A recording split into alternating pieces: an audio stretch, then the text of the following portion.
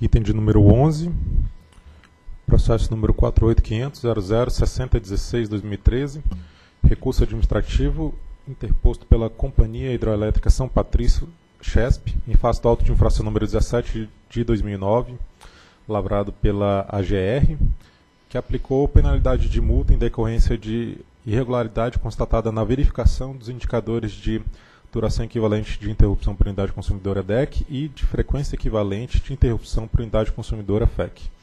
Relator diretor José Jurosa.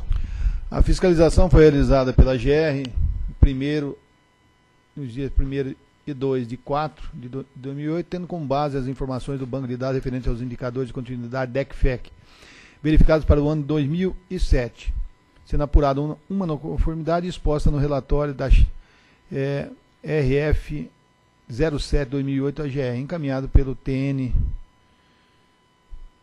recebi, e recebido pela, pela distribuidora em 7 de abril de 2008.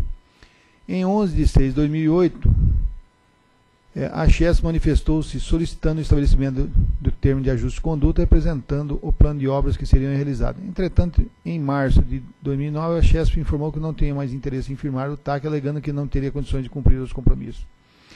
Em março de 2009, em decorrência de ter sido confirmada a irregularidade considerada insatisfatória a justificativa apresentada, a AGR decidiu instaurar o processo punitivo pela transgressão do limite DEC-FEC, emitindo um auto de infração número 17, com a multa no valor de pouco mais de 65 mil reais, sendo a infração enquadrada no inciso 1 do artigo 6 da Resolução 63, correspondente ao grupo 3, que foi recebido pela distribuidora em abril de 2009. Em 13 de abril de 2009, a Chesp apresentou recurso administrativo alegando que os valores das obras necessárias eram 58,8 vezes o valor da multa, invocando o princípio da proporcionalidade e solicitando a redução do valor de multa ou a sua conversão para penalidade advertência. Em 10 de junho de 2009, a diretoria executiva da AGE decidiu pela manutenção do auto de infração, informando a decisão à CHESP em 29 de junho de 2009. Em 8 de julho de 2009, a CHESP apresentou recurso em segunda instância solicitando a redução do valor da multa. Em junho, em, em novembro de 2009, a diretoria executiva decidiu pela manutenção do auto de infração, sendo a chefe informada dessa decisão em 4 de dezembro de 2009. Em 18 de dezembro de 2009, a presidência encaminhou o processo para o Conselho de Gestão, que decidiu pelo cancelamento da multa em 14 de 4 de 2010. A presidência da AGR, está faltando ficar claro. Em 13 de setembro de 2010, a Chesp foi cientificada a decisão de cancelamento da multa. Em 15 de setembro de 2010, a Gerência de Energia encaminhou à Diretoria de Energia de, e Desestatização o pedido de anula, anulação da decisão do Conselho de Gestão. Em 5 de 10 de 2011, o Conselho Regulador, criado em substituição ao Conselho de Gestão, com base no parecer da assessoria jurídica, deliberou pela forma da decisão anterior, mantendo a multa.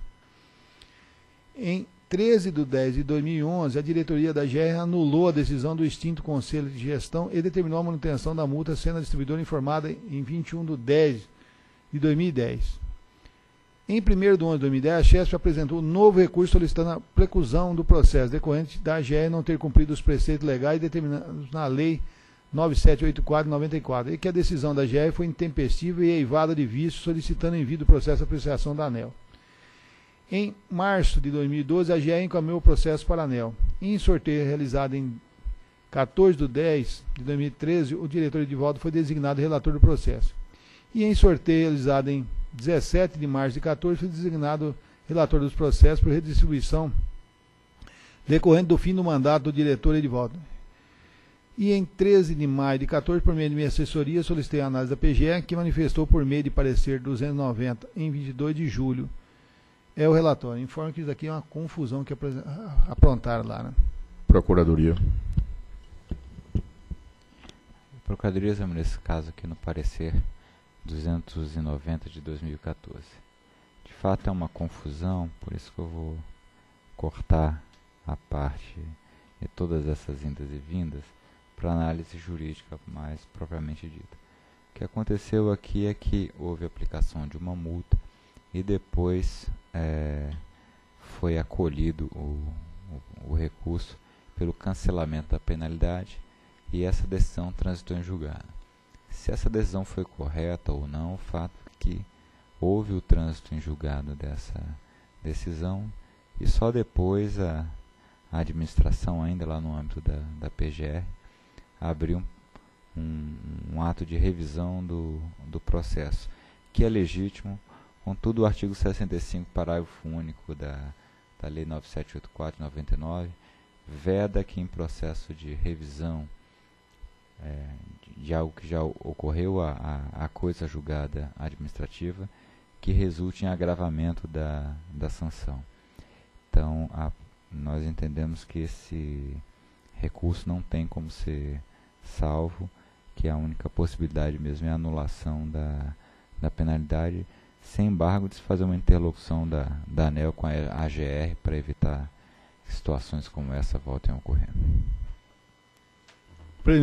Preliminarmente, esclareço que o recurso merece conhecimento por ser tempestivo. E pela não conformidade em nenhum foi verificada a transgressão de indicadores de continuidade em três dos cinco conjuntos da CHESP, sendo aplicada penalidade de multa nos seguintes valores. Então aí está os três, os três conjuntos e os valores. Na verdade, a fiscalização foi feita de forma correta. Até aí estava correta, até a aplicação da infração estava tudo correto. E em seu recurso alega que a, a, a CHESP né, a, alega que apresentou planos de obras que aderir, adequariam os indicadores de qualidade aos limites estabelecidos pela ANEL. Entretanto, no período de obras, ocorreu deteriorização da qualidade, pois teriam um efeito positivo nos indicadores somente após serem concluídos. Informou ainda que seriam necessários investimentos para a melhoria da qualidade do serviço e que, em função do diferimento dos ajustes, reajustes tarifários em 2004, a receita da empresa foi comprometida e os investimentos tiveram que ser retardados. Além do programa de obras não ter sido implantado, por depender de contrato de financiamento, licenças ambientais e outras circunstâncias externas que não se con concretizaram. Continuando, ressalta a influência da SR Alma de propriedade da CELG nos indicadores de continuidade da CHESP, apresentando dados que sinalizam que essa influência em alguns conjuntos oscilou entre 15,6 e 38,1 no total das interrupções. E na análise do recurso, a GR considerou que as metas dos indicadores de continuidade eram no conhecimento da distribuidora com a obrigação de seu cumprimento, que já havia sido autuada por idêntica infração em 2004, impossibilitando assim a conversão da penalidade atual em advertência. E a GR considerou improcedente a justificativa da Chess de que as transgressões do ano 2007 foram reflexos de reequilíbrio econômico-financeiro provocado pelo escalonamento da revisão tarifária de 2004, pois as normas do setor elétrico dispõem de mecanismos para corrigir a tarifa quando comprovada a ocorrente desequilíbrio dos contratos de concessão não sendo demonstrado que a Chess utilizou dessa possibilidade para sanar a questão. Na análise das obras realizadas, foi comprovado que essas foram posteriores às transgressões de 2007 e que essas alegações não serviriam como justificativa para as transgressões.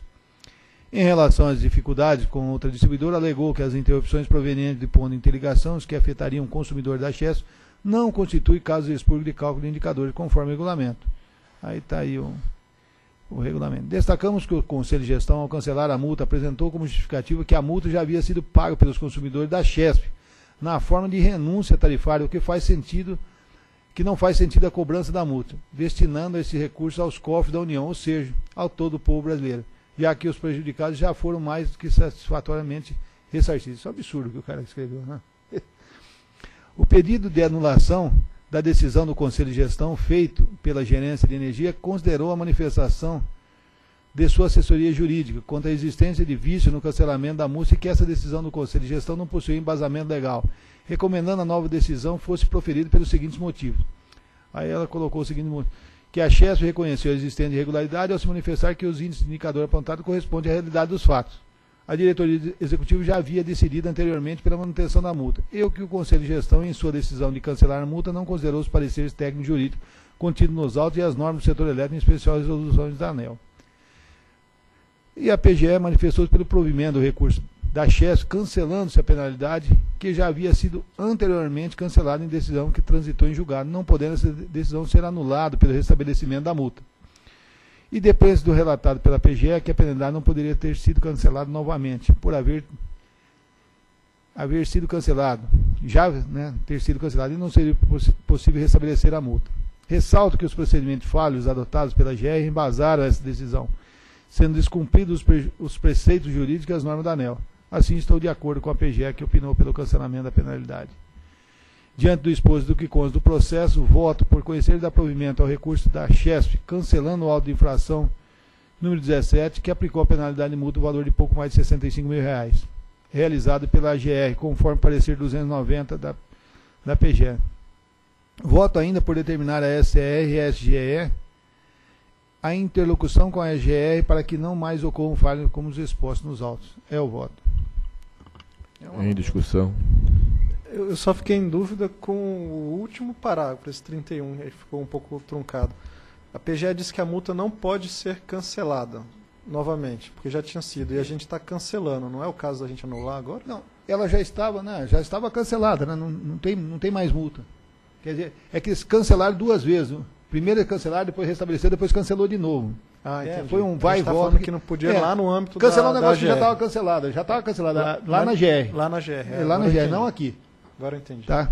É, na verdade é uma confusão mesmo. É, em votação, Com o relator. eu voto com o relator. Também acompanho o relator. Proclamo a, a decisão da diretoria por conhecer e dar provimento ao recurso da Companhia Hidroelétrica de São Patrício, CHESP, cancelando o auto de infração número 017-2009, AGR, que aplicou a penalidade de multa no valor de R$ 65.219,64 em fiscalização realizada pela Agência Goiana de Regulação, Controle e Fiscalização dos Serviços Públicos, AGR, conforme o parecer número 290-2014, de 22 de julho de 2014. Voto ainda por determinar a SCR e a SGE a interlocução com a AGR para que não mais ocorram falhas como os expostos nos autos. Próximo item.